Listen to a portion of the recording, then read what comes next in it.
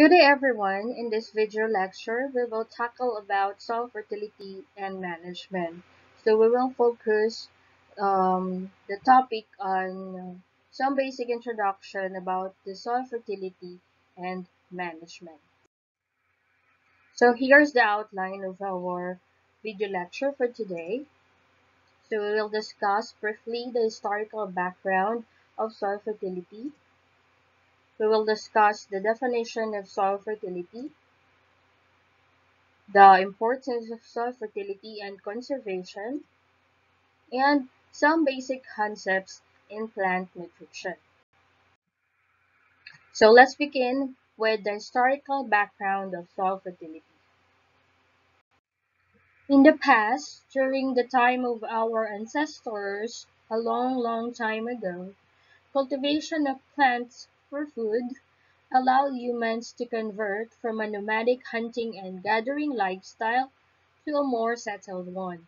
So in the past, our ancestors tend to move from one place to another just to be able to find food until there came a time when they learned how to cultivate plants for food. According to the 2500 BC writings of Mesopotamia, now Iraq, the land between Tigris and Euphrates, it shows evidence of early civilization wherein fertility of the land was mentioned. And the fertility was due to annual flooding of the land and a system of canals that were built for irrigation of the crop. Before, there is what we call the shifting agriculture in the uplands, or also known as the slash and burn, in which large-scale deforestation was being practiced for agricultural use. After using the land for agriculture, people tend to abandon the land and look for another place to perform the slash and burn for agricultural purposes. One of the important personalities when it comes to the history of soil fertility is Xenophon. He is a Greek historian who first recorded the merits of green manure crops. He also wrote this quote, But then, whatever weeds are upon the ground, being turned into the earth, and reach the soil as much as dung. Which means, incorporating weeds into soils is as good as applying them. During the Golden Age of Greeks from 800 to 200 BC, manure increased productivity and prolonged land use. So during this time, manure was discovered to uh, increase productivity and uh, prolonged land use. And also they discovered that green manure crops, for examples, uh, for example, legumes can enrich the soil. And also, liming increased productivity. And wood ashes and saltpeter are beneficial to plants. And that saline soils can be detected by taste. So all of these were discovered during 800 to 200 BC. Now, another important personality when it comes to history of soil fertility during the first 18th century AD is Pietro de Crescenzi. He is a Roman who published a book with the title Ruralia Commoda. This includes um, topics on agricultural practices, specifically about horticulture and agronomy. Another important personality is John Baptista van Helmont. He was uh, the one who conducted what we call the willow tree experiment. He used willow tree as a test crop and he grew the willow tree by the use of drinking water. And from his experiment, he concluded that water was the sole nutrient of plants. Do you believe what he concluded about his experiment? I leave the answer to you. Another important personality is Jethro Tull. He thought that uh, soil small particles were ingested by plants or can be ingested or uptaken by plants. He says that cultivating the soil made it easier for the plants to take up soil particles. He is the author of the book with the title Horse Hoeing Husbandry. He was the one who developed the horse hoe and the seed drill.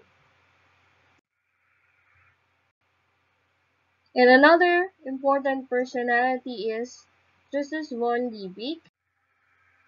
Liebig is the father of modern fertilizer industry. He stressed the value of mineral elements from the soil. And he is the one who found that carbon in plants comes from carbon dioxide of the atmosphere and not from humus, and that hydrogen and oxygen come from water. He also found that alkaline metals such as the calcium, magnesium, and potassium were needed to neutralize acids formed by plants, and phosphates are necessary for seed formation. He also authored the what we call Liebig's law of minimum, which says that if one of the essential nutrients is deficient, growth will be poor even if all other elements are abundant. Liebig is also known for his contribution to philosophy. He said that perfect agriculture is the true foundation of all trade and industry, and it is the foundation of the riches of nations. But a rational system of agriculture cannot be formed without the application of scientific principles for such a system on an exact acquaintance with the means of vegetable nutrition and the knowledge we must seek through chemistry.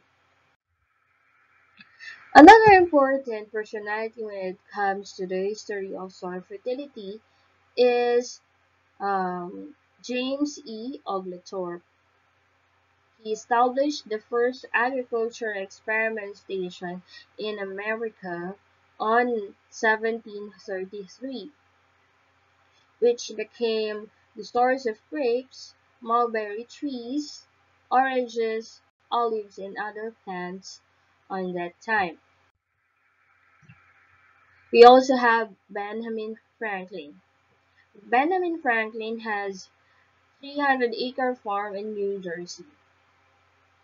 He had a miniature experiment station carrying on projects in drainage, in crop rotation, and especially in the utilization of the newer grasses, liming, and fertilization. He is the one also who demonstrated the value of the use of gypsum during his time. We also have Thomas Jefferson. He is a soil conservationist. His practices such as crop rotation, use of fertilizer, and contour plowing characterized him as one of the America's early agronomists. We also have Edmund Ruffin. He is the father of soil chemistry in the United States. He showed how to restore fertility to depleted southeast plantations, and he also the he is also the one who first used lime in humid regions. So, so much for the brief history of soil fertility. Now we move to the discussion of the definition of soil fertility and uh, what is what is the difference between when you say soil fertility versus soil productivity? When you say soil fertility, it refers to the quality of a soil that enables it to provide essential chemical elements in quantities and proportions for the growth of specified plants. On the other hand, when you say soil productivity, it refers to the capacity of a soil for producing a specified plant or sequence of plants under a specified system of management. And soil fertility is one of the factors that can make a soil productive. Now, for soil to be productive, it must have the following characteristics. It must be easily tillable and fertile. It must contain all the essential elements in the forms readily available to plants in sufficient amount and is physically good to support plants and has the right amount of water and air for the proper growth of the plants and the soil must supply these essential elements in the life of the plant. Now, other factors that can make a soil productive are the following. You have to consider the moisture content, the aeration, the absence of pests and diseases, the presence of microorganisms that support plant growth, the management practices, and also large amount of topsoil. Now, what are the differences when you say the soil is fertile versus the soil is productive or what is well, how can you compare soil fertility and soil productivity? Now, these are some of uh, examples on how you compare the two. Now, you can say that the soil can be highly fertile. For example, it has ready supply of nutrients in available form, yet it may not be highly productive. Why is that so?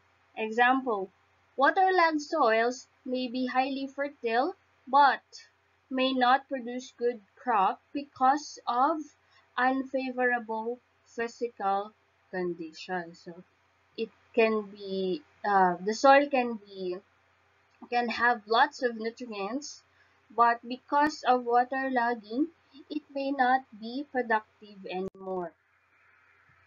Another, another example is that a fertile soil may be highly saline or alkaline, which may not be also good for agriculture.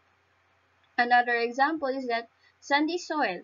Sandy soil may be poor in fertility, but with the use of fertilizers in water, it may become productive. It may be made productive. Now, you can say that there is no standard for either fertility or productivity of the soil because both depend upon the crops to be grown. For example, soil that is productive for potatoes may not be necessarily be productive for certain other crops. So that's for the differences between soil productivity and soil fertility. Now, let's discuss the importance of soil fertility and conservation. So why is soil fertility important? Because soil plays an essential part in our survival, since it is connected to our food supplies. Fertile soils ensure plant survival. It holds plants in place while providing them with the life-supporting nutrients that they need to survive.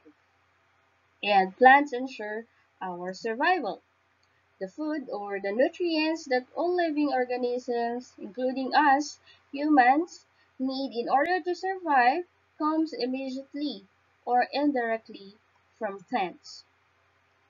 So without fertile soil, there will be no more no, there will be no plants. Without plants, we cannot survive we would not have food. And without food, there's no chance we can survive at all. Now, why is soil conservation important? Soil conservation can save the soil through harsh weather and stops erosion. Soil conservation ensures that the soil is getting more nutrients. And as we all know, humans depend on food grown for survival. So if we take good care of our soils, we will have suitable lands to grow our food and meet our most basic need. It can also increase crop productivity because a healthy soil means healthier and better crops. So we can harvest better and healthier crops as I've said. So now, let's go to some basic concepts in plant nutrition. Now, in plant nutrition, we have what we call essential nutrient elements. So these essential nutrient elements are needed for the growth and development of plants. There are actually 18, 18 nutrient elements that are considered essential for plant growth and development. And these are classified into two. The first classification we have is the macro elements. We have the macro elements. So when we say macro elements, they are needed by the plants in large quantities or large amounts. So for the macro elements, we have those coming from the air, the carbon, hydrogen, and oxygen. And we have those coming from the soil, the nitrogen, the phosphorus, potassium, calcium, magnesium, and sulfur. So these macroelements coming from the soil can be in the form of compounds or in combination with other compounds. They can be present in the complex structure of minerals in the soil and they can also be present in salts in the soil solution. So those are the macro elements, the, the carbon, hydrogen, oxygen, nitrogen, phosphorus, potassium, calcium, magnesium, and sulfur. So aside from the macro elements, the other classification is the micro elements. So micro elements are those needed by plants in uh, relatively small quantities, smaller quantities than the macro elements. So micro elements include iron, manganese, copper, zinc, boron, molybdenum, cobalt, fluorine, and nickel. Some of these elements have a, a special special role in plants. For example, uh, chlorine. They are needed specifically for by coconuts. We also have nickel, which is a very important catalyst in the conversion of urea to ammonium. So there are also other nutrient elements that are beneficial for plants. So some plants apparently either need or have some benefits from other elements. Examples are the following. Silicon, sodium, iodine, fluorine, barium, and strontium. They are not generally considered to be essential elements for plant growth, but they are beneficial. Now, how are these nutrients considered to be essential? and not beneficial only. So, to be to be classified as an essential nutrient, it should meet the element should meet these three criteria. The first criteria is that plants cannot complete their life cycle in the absence or deficiency of any one of the nutrient elements. So without, for example, nitrogen, plants cannot complete their life cycle. Plants cannot grow. And the other, or the second criteria is that a nutrient is an integral component of a plant structure and or participates in one or more metabolic processes in the plant. So when you say metabolic processes, it includes what we call the photosynthesis, the respiration, the transpiration. So those metabolic processes needs essential elements to be able to proceed. And the third one is that no other element can substitute for the element if it is absent or lacking in supply. So there is no substitute. It cannot be subs its uh, its role in plant growth and development cannot be substituted by others. Its deficiency uh, can only be corrected by addition of that particular nutrient. Now, let's go for some practice questions. So I'll be giving you oh, some time to answer these questions on your own and after that, we'll check your answers. Now, first question. In history, soil fertility in Mesopotamia was due to A. Annual flooding of the land B. Annual precipitation in the land C application of fertilizer, or D, application of lime.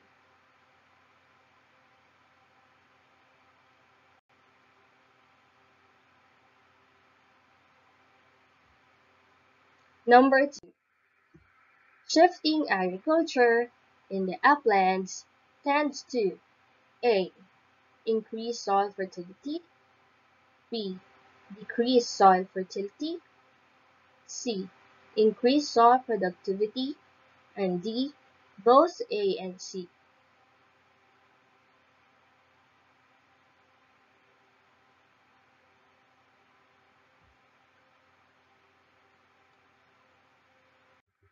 Next question. A Greek historian who said that incorporating weeds into soils is as good as applying dung. Letter A. Pigenzi. B. Liebig or Liebig. C. Tull. And D. Xenophon.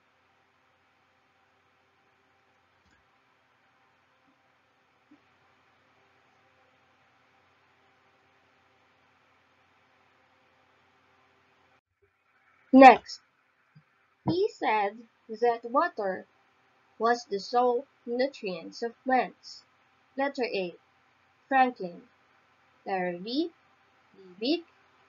Letter C. Van Helmont. And D. Tull.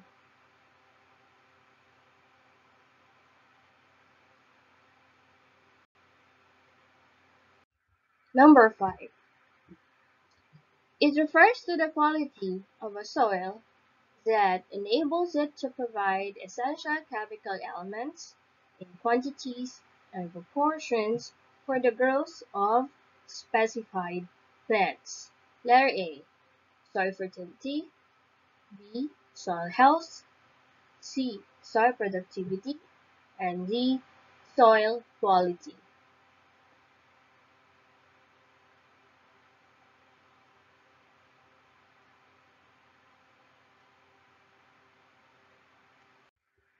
Next question.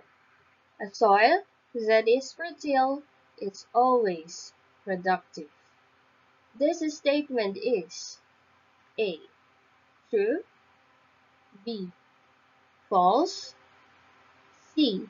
Neither A or B D. Either A or B.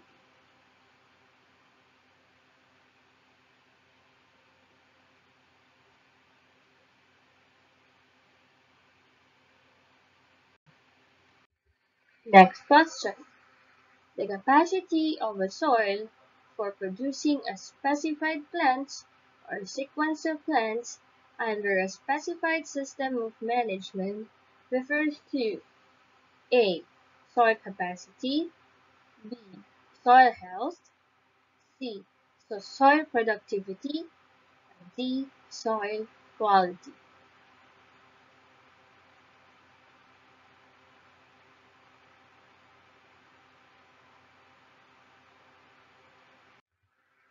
Next question. The following are micronutrients. Example A. Calcium, magnesium, sulfur. B. Cobalt, chlorine, nickel. C. Iron, manganese, copper.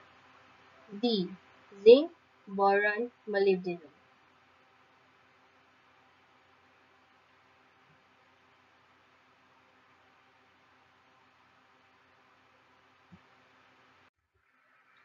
So let's try now to answer those questions. For question number one, in history, soil fertility in Mesopotamia was due to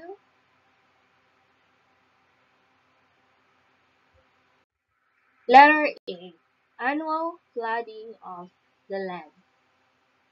Number two, shifting agriculture in the uplands tends to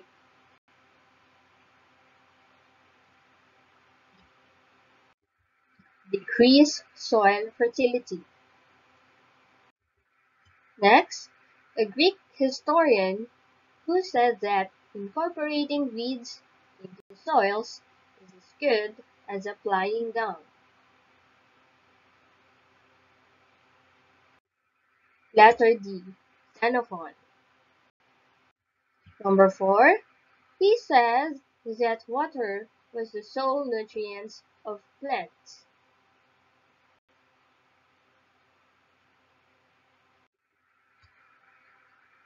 He is letter C. Van Helmont. Number 5 refers to the quality of a soil that enables it to provide essential chemical elements in quantities and proportions for the growth of specified plants.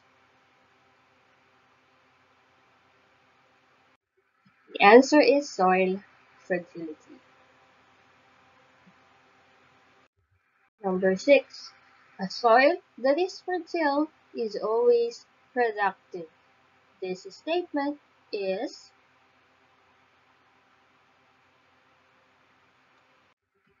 false. Number 7.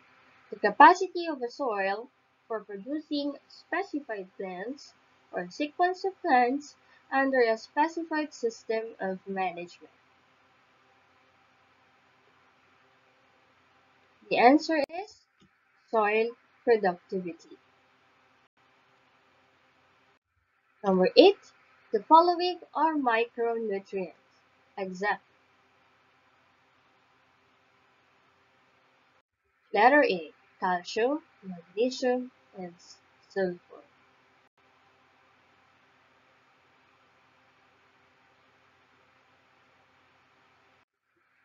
That's all for this video lecture. Thank you very much for listening.